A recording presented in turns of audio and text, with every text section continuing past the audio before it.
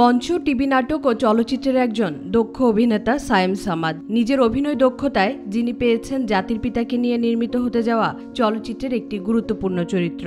শ্যাম বেনেগাল পরিচালিত বঙ্গবন্ধু বায়োপিকে অস্থায়ী রাষ্ট্রপতি সৈয়দ নজরুল ইসলামের চরিত্রে অভিনয় করছেন সায়েম সামাদ। আমি নিজেকে খুব প্রাউড ফিল করছি যে আমি সৈয়দ নজরুল ইসলাম মানে স্বাধীন বাংলাদেশের প্রথম ভারপ্রাপ্ত রাষ্ট্রপতি সৈয়দ নজরুল ইসলামের চরিত্রে রূপদান করছি।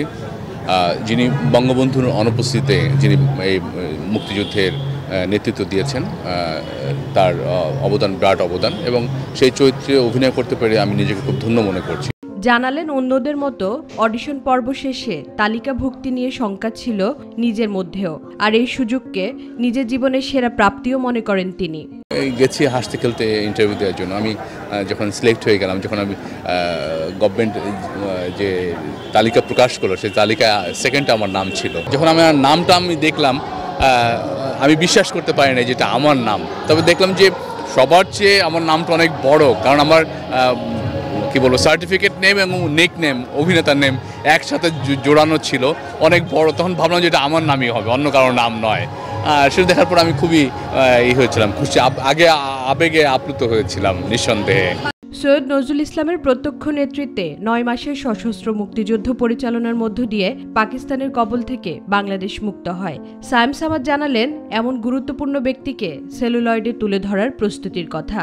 আমি চেষ্টা করেছি আমার সর্বস্ব দিয়ে এই ও ছবিতে অভিনয় করার যখন মুক্তিযুদ্ধ হয়, তখন আমার বয়স সাড়ে তিন বছর। আমার বাবা আমাকে কাঁধে করে সেই ভেড়ামারা আমার বাবা চাকরি করতেন। ওখান থেকে বৈদ্যনাথতলা হয়ে আমার ফরিদপুরে এসেছিল আমার বাবা আমাকে কাঁধে করে। সেই চেতনা এখনও ধারণ করি। আর সেই ছবিতে কাজ করতে পেরে নিজেকে ধন্য মনে করছি। ইতিহাসে একটা সাক্ষ্য হয়ে থাকবে এই চরিত্রটা। আমি খুবই গর্বিত। সংবিধান যারা রচনা করেছেন, তারা যেমন একটা ইতিহাস হয়ে থাকবেন এই ছবিতে যারা কাজ করেছেন, তারাও একটা ইতিহাস হয়ে থাকবেন। সেটা ছোট হোক, বড় হোক, এক লাইনের হোক ডায়লগ থাকুক বা না থাকুক, নিঃসন্দেহে তারা ইতিহাসের একটা অংশ হয়ে থাকবেন নিঃসন্দেহে। এই অভিনেতা পদাতিক নাট্য সংসদের ব্যানারে উনিশশো বিরানব্বই সালে অভিনয় শুরু করেন। তারপর কাজ করেছেন অসংখ্য জনপ্রিয় নাটক ও সিনেমায়। Fatema Kausar, news twenty Dhaka.